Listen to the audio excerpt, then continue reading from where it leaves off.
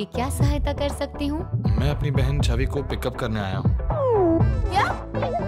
अभी तो बारह भी नहीं बजे। मैंने बर्थडे केक भी नहीं काटा और हमारे घर की लड़कियाँ रात 12 बजे तक पार्टियाँ नहीं करती। ये रूल सिर्फ़ लड़कियों के लिए क्यों है? सबके लिए होना चाहिए ना। एक काम करो ढूंढ सको तो ढूंढ लो उसे।